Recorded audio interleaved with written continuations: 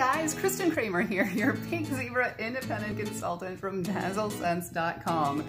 And Junior Zeeb and I are back with another quick tip.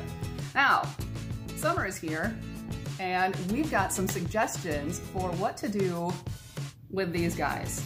If you are a sprinkle lover like I am, you probably have a few of these empty cartons around and we have approximately a half million of them.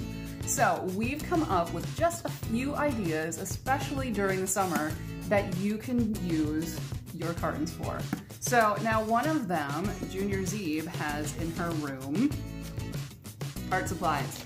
Now, Junior Zeeb has a ton of art supplies. So she uses her cartons to organize her art supplies on her desk in her room. Awesome way to use the cartons. Now, there are other things that you can do with the cartons. Now, if you're going to the beach, I mean, how perfect is this for a sand bucket?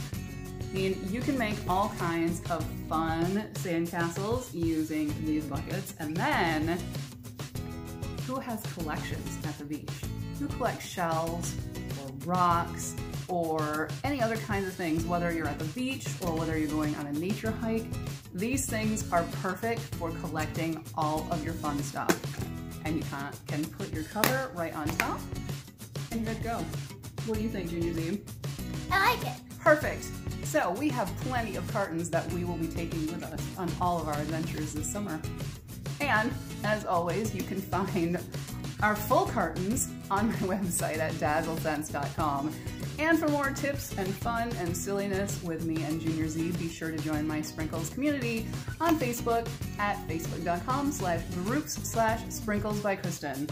And what else would you like to remind them? Don't forget to subscribe. Don't forget to subscribe, and we will be back again later with more fun. Until then, see you guys.